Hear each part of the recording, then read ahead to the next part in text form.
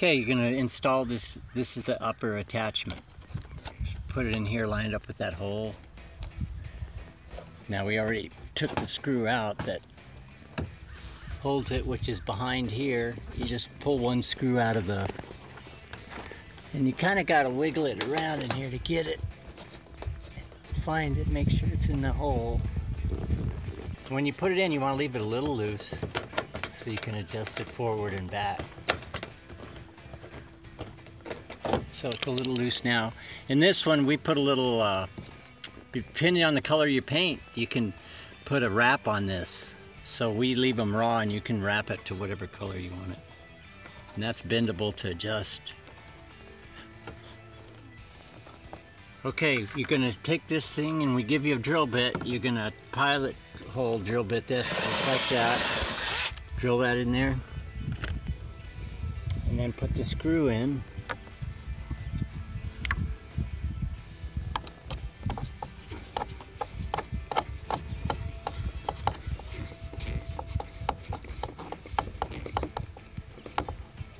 Just like that.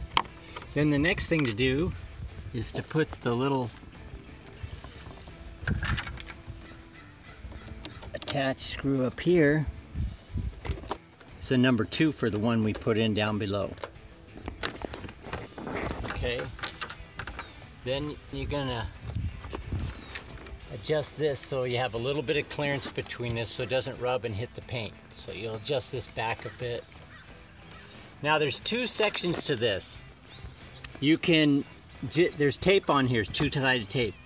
You can either just two-sided tape and tape it like that, but we suggest you use the screws we give with you, with it. It's gonna have a short screw or a long screw. The long screw I would use in this case, and what we do is we pre-drill it. So line it up, make sure it lines up straight with that.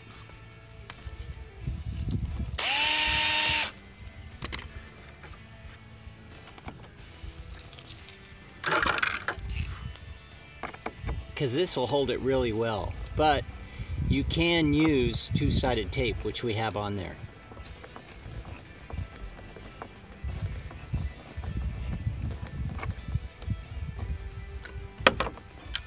And that really holds it well.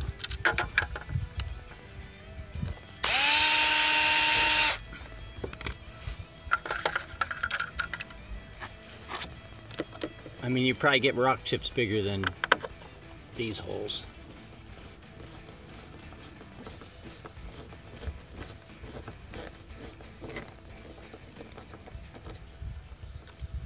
And that's all and that's on there tight and then finish tightening inside your uh, upper attach point. Make sure that's in.